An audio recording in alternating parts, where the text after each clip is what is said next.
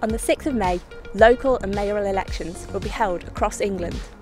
This is your chance to tell your local leaders that you care about creating great places to cycle. Places designed for people, where more everyday journeys are cycled, the air is cleaner and our health and well-being are prioritised. Towns, cities and rural communities where cycling is for everyone, so we can recover from this pandemic stronger, greener, together and more active. To achieve this vision, we need councils to commit to make cycling and walking a priority in transport and planning decisions and invest in a network of safe, accessible and direct routes in every town and city, with rural routes to link them together. We need your help to make it happen in your local area. Take part in our online action and contact your candidates to let them know that you care about cycling. And get involved with your local cycle campaign group to have even more of an impact.